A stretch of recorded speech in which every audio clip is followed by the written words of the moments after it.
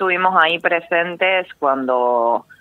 la policía, ya en este caso la Policía Federal, eh, montó toda una provocación, reprimió a jubilados, a compañeros de prensa, eh, cuando ya se estaba disponiendo para empezar la movilización hacia Plaza de Mayo. ¿Y la circunstancia cómo era? ¿Por qué se produjo todo esto? Vimos unas imágenes espantosas. Mira, ya empezó la jornada con una actitud completamente provocadora por parte de la policía, en la primera instancia de la policía de la ciudad, haciendo un cerco directamente a un grupo de compañeras y compañeros en la esquina de Callao y Rivadavia, eh, donde los tuvieron ahí eh, secuestrados directamente eh, por el lapso alrededor de una hora hasta que empezaba la movilización. Y bueno, cuando iba a empezar la movilización estaba la prensa sacando fotos y fue ahí que interviene la Policía Federal, mandada por Patricia Bullrich, directamente y empieza a golpear a fotógrafos, a tironear a jubiladas, jubilados, eh,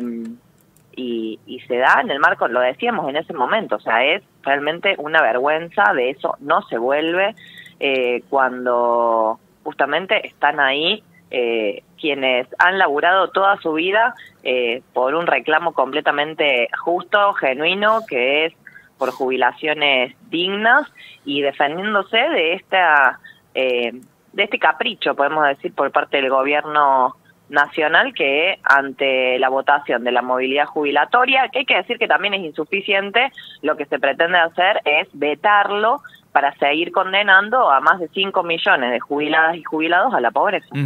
eh, a ver, lo que vimos eh, fue eh, una actitud muy violenta contra una manifestación que se viene haciendo los miércoles. ¿Era más multitudinaria que en otras oportunidades, Ele? Hoy era mucho más multitudinaria, recién acabamos de terminar en Plaza, en Plaza de Mayo, justamente porque entendemos que eh, el reclamo de las y de los jubilados hoy es eh, la pelea por un derecho que va a ser para el conjunto de la clase trabajadora en un futuro. Entonces, hoy se rodeó de, de, solidaridad, de acompañamiento a estas movilizaciones y acciones de los días miércoles, y en particular hoy se marchó desde Congreso hasta Plaza de Mayo, eh, como va a empezar a suceder eh, algunos miércoles eh, de ahora en adelante. Uh -huh. vos, vos estás ahí, participás de un montón de manifestaciones. ¿Se había vivido algo parecido? Digo, sobre todo porque los reprimidos fueron jubilados. Mira, ya lo vivimos eh, durante los días de enero y febrero, cuando fueron las movilizaciones contra, en su momento, la ley ómnibus, eh, donde reprimieron violentamente a las y los jubilados con gases lacrimógenos, con estos gases nuevos que están usando, que son completamente tóxicos, en elementos de tortura directamente, y vimos cómo eh, iban contra las y los jubilados, que en esto creo que es importante marcar el rol que vienen jugando eh, desde el inicio de este gobierno eh, y en realidad en los anteriores también, porque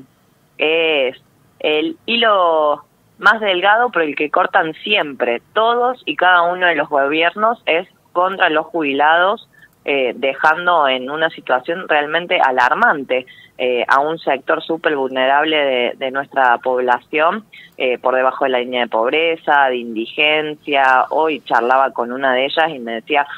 Cele, con lo que cobramos, con lo que nos sale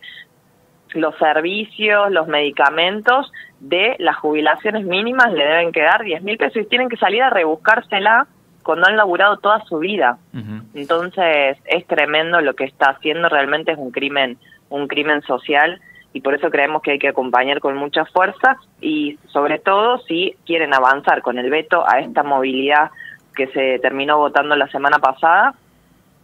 la exigencia a una gran jornada de lucha,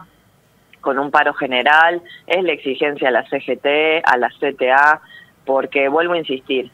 lo de las jubilaciones no es un problema solo de quienes hoy están eh, jubiladas, quienes han logrado jubilarse, eh, sino que es del conjunto de la clase trabajadora. La última, y es por este tema de la manifestación de hoy y la represión, ¿existe la posibilidad de ir a la justicia?